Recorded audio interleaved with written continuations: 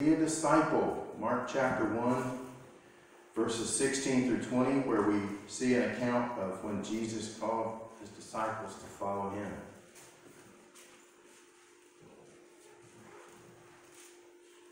And uh, I've got some of you ready to read some scripture verses for me this morning during the sermon. So uh, I'll be starting to call on you here before too long. So, so have those verses ready too if I've asked you to read. And Brother Jim, if you go ahead and come up and grab that cordless mic and you can have that with you. Jim's going to be my uh, gopher. He's going to take it around when someone has a verse to read and uh, just tap that bottom button and it'll turn green and people will be able to hear you. All right, thank you.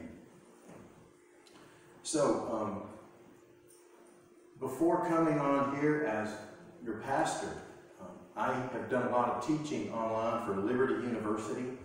I teach in their School of Divinity, and one of the courses that I teach is Introduction to Church Ministries. And part of that class, we talk about this very thing, what it means to be a disciple. And uh, I want to share with you today some of the content that comes out of that. And uh, one of our textbooks for that class is called Ministry Is. It's by Dave Earley and Ben Gutierrez. And Dr. Earley has some very keen insights into what it means to be a disciple. And I want to use some of what's in his book to share that with you today. Now, um, when we think about following Jesus, we got to remember who Jesus was. Jesus was a Jew who grew up in a Jewish culture. He ate Jewish food and he memorized the Jewish law. He was he very likely went to a synagogue school and he learned the Torah.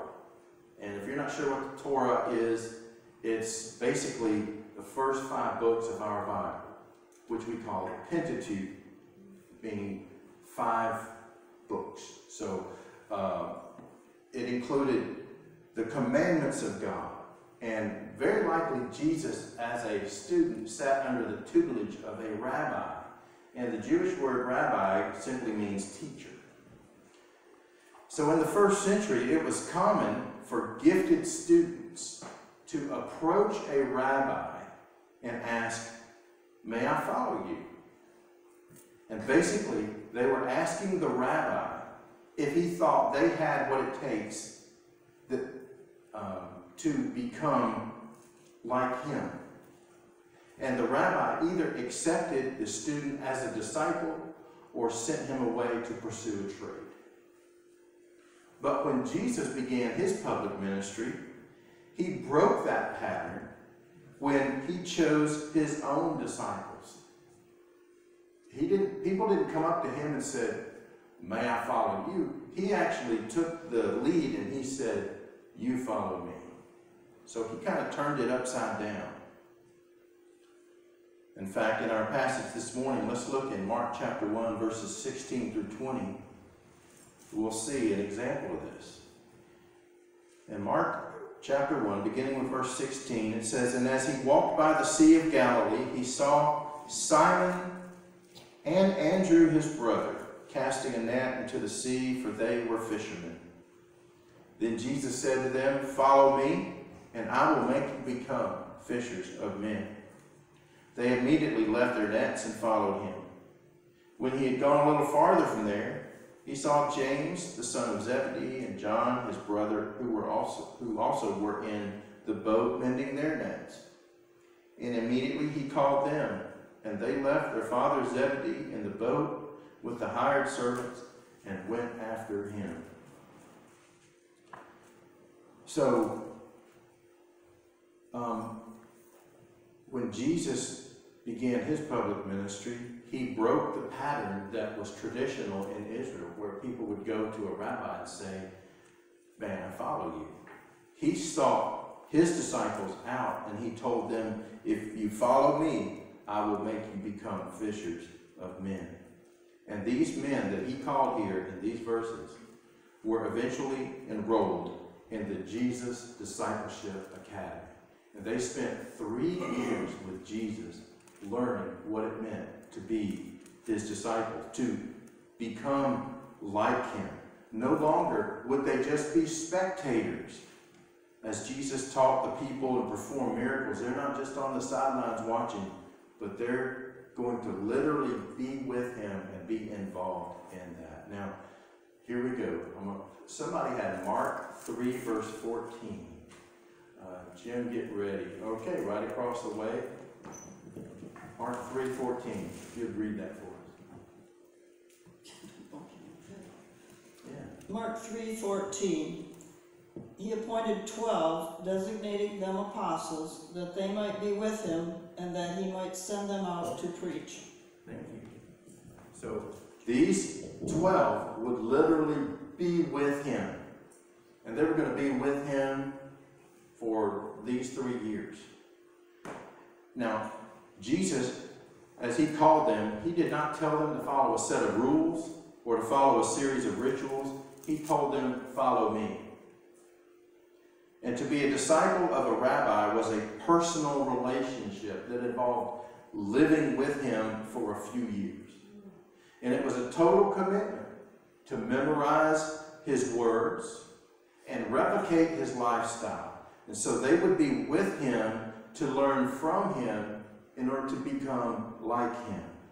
So let's look closer at what it means to become a disciple. And the first thing I want you to note this morning of what it means to be disciple, a disciple, is that disciples receive and recite the teachings of their rabbi. They receive and they recite the teachings of their rabbi. Now, memorization, that's fun, right? I know it can be hard sometimes, but think about all the songs you know. When you start hearing them on the radio, you just, you know the words, right? Because you hear them so often and they're catchy and you find, you figure out a way to remember those lyrics. And there's probably songs that you hear now that you knew 30, 40, plus 50 years ago, and you still know the words to those songs. And I think for some of you here today who are, who are Christians, and you've been Christians for 30, 40, 50 plus years, you know some verses from back then because they just became familiar to you. And some of you memorized them on purpose, and some of you, you didn't memorize them on purpose, but you you read them and you heard them enough to where you are familiar with them. Well, memorization was an important learning technique in the first century. Beginning at age five, Jewish children would memorize large portions of the Torah. And as they grew older, boys learned key sections of the Old Testament, and girls learned the Psalms. And at age 12, boys would begin to apprentice and learn their father's trade. Girls would learn homemaking skills in preparation for marriage. And then sometime between the age of 12 to 18, a boy could begin an apprenticeship to become a rabbi. And if he did, if he started that apprenticeship, he would memorize the Torah, the whole thing and much of the Old Testament and the teachings of his rabbi. So you have the first five books of, of our Bible would be memorized. Other parts of the Old Testament, and not only those things, but other wise sayings and things that their rabbi would, would tell them. And memorization was important back then, especially because most people didn't have their own copy of the scriptures. So they either had to remember it or they had to go to a synagogue to be able to access it. So the students of a rabbi had to memorize his words and imitate his life accurately, which is the next thing a disciple does. Not only does a disciple receive and recite the teachings of their rabbi, but a disciple, disciples replicate the lifestyle of their rabbi. They replicate the lifestyle of their rabbi.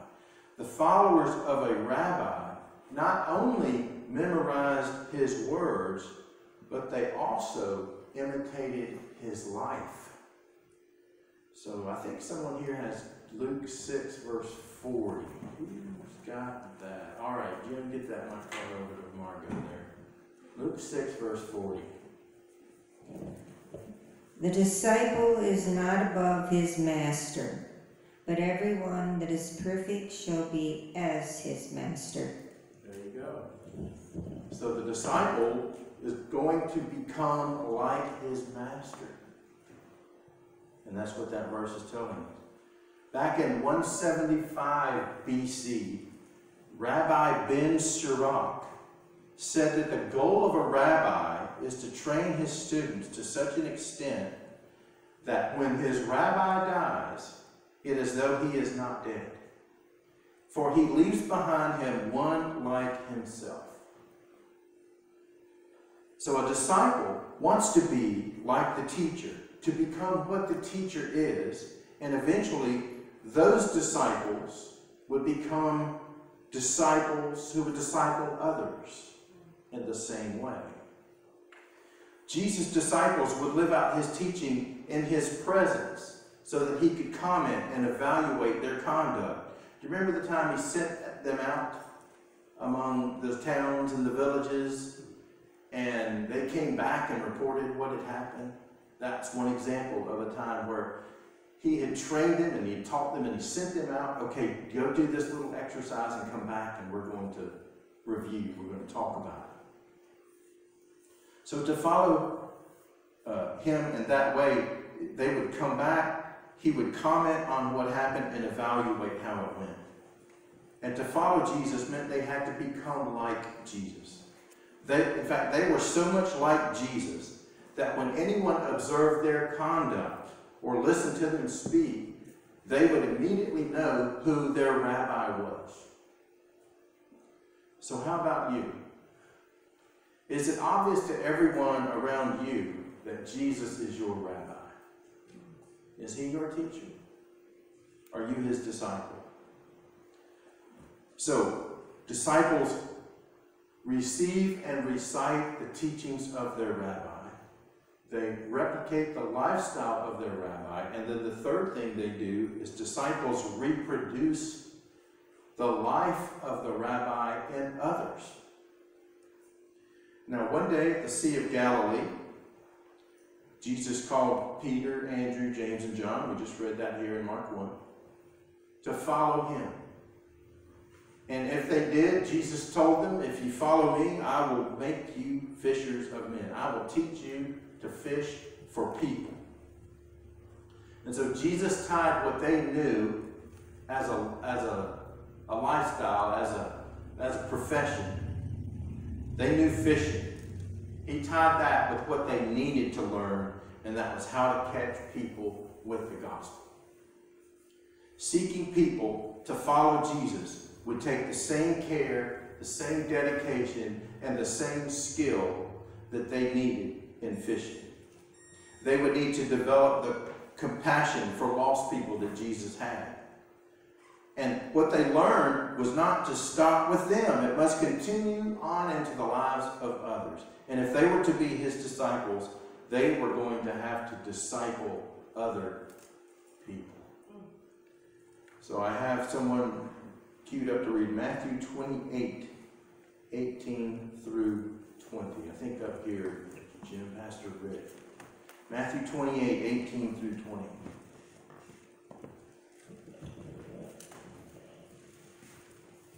Then Jesus came near and said to them, All authority has been given to me in heaven and on earth. Go, therefore, and make disciples of all the nations, baptizing them in the name of the Father, and the Son, and of the Holy Spirit, teaching them to observe everything I have commanded you. And remember, I am with you always to the ends of the earth. All authority has been given to me in heaven and on earth. Go therefore and make disciples of all nations, baptizing them in the name of the Father and of the Son and of the Holy Spirit, teaching them to observe everything I have commanded you, and remember, I am with you always to the end of the ages. Amen. Thank you, brother. So, teaching them to observe all things that I've commanded you. That's part of what it means to learn. To, when he's making disciples, part of making one is teaching them to observe those things. So, disciples receive and recite the teachings of their rabbi. They replicate the lifestyle of their rabbi. They reproduce the life of the rabbi in other people. And then the fourth thing that they do is they replace their previous life with the new life of their rabbi. They come just like him. They do what he did. They, they represent him. So when we look back here in our text in Mark 1 16 through 20, while it is important to know that these men did answer Jesus' call to follow him, it's also important to notice how they answered his call. In, in, in verse 18, it says, They immediately left their nets. It was immediate. They didn't hem haw around and think about, well, what would mom think? Or, uh, you know, what's everybody going to say if we leave this work and we go and follow this guy? Um, so they, they did it immediately. And then in verse 20, it, it tells us they left their father in the boat. I mean, they just walked off. It says they left their father Zebedee in the boat with the hired servants. I mean, they were not just putting down their nets for an afternoon or for a few days. They were leaving their nets for the rest of their lives. So, in order to say yes to following Jesus, they had to say goodbye to their careers as fishermen.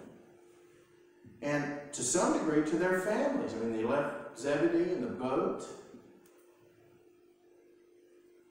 And for some of them, following Jesus would mean dying for their faith. James, John's brother, was beheaded. Peter was crucified upside down. Andrew was crucified on an X shaped cross. And John died at an older age, but after he had been beaten, burned, and exiled. So, ministry is following Jesus and it's fishing for people. And I'm glad some of you this week said, Yeah, I invited somebody to church. That's that's part of fishing for people. Did anybody bite? I don't know. But you put it out there. You can't catch a fish if you don't throw the line out in the water, right? I've never done that. Of course, now I have seen these dumb Asian carp now they have in these rivers where you're just going down in a boat and they just jump out of the water into the boat. I mean, that's, that's crazy. But that's pretty rare around these parts at least. Fish don't usually just jump in the boat. But ministry is following Jesus and fishing for people. It's being a disciple and it's making disciples. It's growing and going. It's learning and evangelizing. It's knowing Jesus as your Lord and Savior, and it's leading others to know Him in that way too. That's what it means to follow Jesus. That's what it means to be a disciple.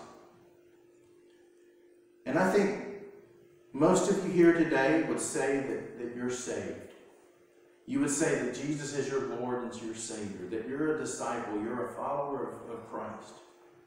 Amen. And I'm glad, and that's great, and I praise God for that. But what should that mean? If you're saying, yes, I'm a disciple of Christ, what that should mean is that you are in God's Word often, and that you're growing and learning in your faith. You're receiving and reciting the words of your rabbi. It should also mean that you're becoming more like Christ in thought, word, and deed. It means that as you grow in your faith, that you start filtering everything you read, hear, think, and do through the Word of God. And you often think about, well, what would Jesus do? How would he respond? What's the, the biblical, Christ-like way in this situation? What does Scripture say about this? Is this true? Is this right? What should I or should I not do this? So let God's word dwell in you richly. Hide God's word in your heart so that you may not sin against him. So if you're saved and you're following Jesus, that should also mean that you're actively praying for, seeking out, and sharing with others the good news about Jesus Christ. Now, some of you might be like, "Ugh, that's really not, that's not the way I'm wired. My personality is like, I'm just not an outgoing kind of evangelistic type person. Well, everybody can do something. I really believe that. I don't care if you're homebound. You can do something. You can pray for people. You can pick up the phone. You can call people. You can write people. There's some way you can have some kind of impact. And so, you know, there, there's this spectrum of people in the church. You, you've got the, the non-evangelist Christians. Those are the people that are like, I'm really not a good speaker. I really can't do much. I don't feel like that I'm very effective. And, I, and maybe the best you can do is be a good neighbor and show care and, and talk about praying and asking your, your neighbor, well, you know, I go to church and, and we pray. Is there anything we can do to pray for you? I mean, just a little something. And, and so maybe that's you, or maybe you grow a garden in the summer. You can share some stuff with your neighbors. Uh, maybe you can just hand somebody a gospel tract, say, you know, or invite someone to church. I don't know. And then there's your your your your people that are in between, in the middle. It's like you're an occasional evangelist. In other words, you're like, you know, if the stars line up and everything works out just right, then I'll say something. I'm not afraid to, it's just it has to be the right situation. And that might be some of you. Is you're not really afraid, but you know, it just has to be just right. And then you're green light, you're all in, and you'll do it. And then there's those, I would call them rare, outgoing evangelist type people who they just somehow they're they're able to turn every situation, every conversation into a gospel conversation. Just naturally. I am not that person. I wish I was. I wish I had the, the skills and ability to do that. But I, I'm just not. But there are those people. And if that's you, then praise God. I mean, do what you're doing and keep doing it. Keep living for Christ and keep sharing the gospel. Um, but but that's that's what it means to. If, in other words, I guess what I'm trying to say here then is, if you're saved and following Jesus, then then you ought to be actively praying for, seeking out, and sharing with others the good news of Jesus Christ. And the way that you can do it. Now, I would have a red flag going off in my mind if you have no concern at all for, for people that don't know Christ. If you think, I don't care, let them die and burn in hell. If that's your attitude, then there's probably an issue with your salvation. Because we know that the Lord sent Jesus to, to die on the cross to save everyone who would ever believe in him. And so we want the gospel to be shared with as many people as possible. And if you don't have a burden for lost people, I'm not sure if you're saved. Either that or you really got some growing to do. It's, it's one of those. Well, finally, if, if you're truly a disciple of Christ, you can no longer live for yourself. You cannot live any way you want to live and call yourself a Christian. God's word tells us that anyone who wishes to follow after Christ must deny himself, take up his cross daily, and follow Jesus. In fact, Jesus says, Why do you call me Lord, Lord, and not do what I say? Paul says, I have been crucified with Christ. It is no longer I who live, but Christ who lives in me. And the life which I now live in the flesh, by I, I live by faith in the Son of God who loved me and gave himself for me. God's word tells us that your body is the temple of the Holy Spirit who is in you, whom you have from God, and you are not your own. You were bought with a price, therefore glorify God in your body. So, what does this look like? What should you be doing as you follow Christ? Well, I've already mentioned them, but I'll do it real quick. You need to regularly feed on God's Word. That's the first thing. Regularly feed on God's Word. In fact, uh, Matthew chapter 4, verse 4 says this It is written, Man shall not live by bread alone, but by every word that proceeds from the mouth of God. That's how important it is. If you really want to truly live as a Christian, live by every word that proceeds from the mouth of God. Somebody here has John 14, 26. Uh, up front here, uh, Jim, Miss Joan over here has uh, John 14, 26. There you go. But the counselor, the Holy Spirit, whom the Father will send in my name, will teach you all things and will remind you of everything I have said to you. Thank you. So if you regularly feed on God's Word, the Holy Spirit will bring that back to your remembrance when you need it. God will remind you and give you that. And then the second thing is that we need to live like Jesus wants us to live. Not only privately, but also publicly. And that's 1 John 2, verses 3 through 6. Is that you, Jim? Okay. Okay, First John 2, 3 through 6. And by this we know that we have come to know him if we keep his commandments. Whoever says, I know him, but does not keep his commandments is a liar, and the truth is not in him. But whoever keeps his word, in him truly the love of God is perfected. By this we may know that we are in him. Whoever says he abides in him ought also to walk in the same way which he walked. So we need to be living like Jesus commands us to live, in public and in private. And then we need to share the gospel and make disciples. And I think Miss Eula has this one, John 20, 21. Is that you? Okay. Share the gospel and make disciples. They have heard about your teaching, that you tell our people who live among the nations to leave the law of Moses. They have heard that you tell them not to circumcise their children and not to obey customs. Thank you. And then to exhibit, the fourth and final thing is to exhibit a truly converted life. Show that following Christ is the most important thing in your life. And remember, and this is a quote that, have any of you ever heard of Pastor John Piper? Have you ever heard of him? Okay.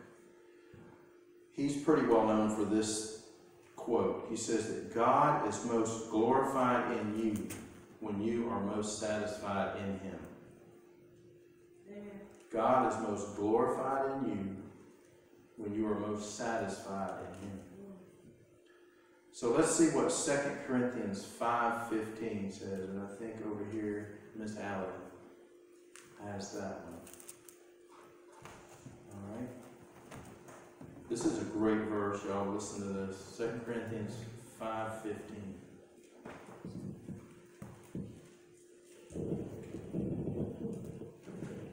And he died for all, that those who live should no longer live for themselves, but for him who died for them and was raised again.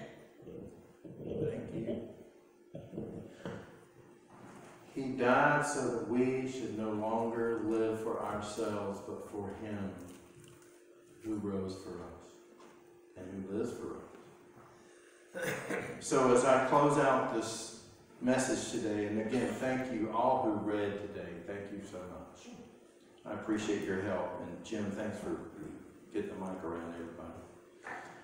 Uh, if there's someone here today who has not yet trusted in Jesus as your Lord and Savior, I invite you to do so this morning. And here's why you need to receive Jesus as the Lord and Savior of your life, in case you don't know. The Bible says that you're a sinner and that you've broken God's law. And the penalty for breaking God's law is death. The The Bible says the wages of sin is death. Now, when I talk about death, I'm not talking about ceasing to exist. I'm talking about the exact opposite of eternal life. The penalty, the wages of sin, is eternal death in hell for the sinner who does not repent and believe in Jesus. Why? Because your sin, however trivial or minuscule you think it is, has been committed against the holy, righteous, and eternal God who created you and blessed you with many good things in your life, whether you understand or realize that or not. But God is loving and gracious, and He has done something so that anyone who trusts in Jesus can be saved. You see, the Bible says that Jesus lived a perfect life and yet was crucified on a cross for our sin, the just for the unjust, that He might bring us to God. And He rose again on the third day. We broke God's law, but Jesus paid our fine. And the Bible says that whoever believes in Jesus, whoever trusts in him, will not die eternally, but will have everlasting life. In fact, Jesus delivers us from the power of darkness and brings us into his kingdom. And in him, the Bible says we have redemption through his blood, the forgiveness of sins. So if you desire to trust in Christ today, in a moment we're going to sing a song. And while we sing that last song, if you feel like you're ready to trust in Christ and make it public, step out of your seat and come forward and tell me about it.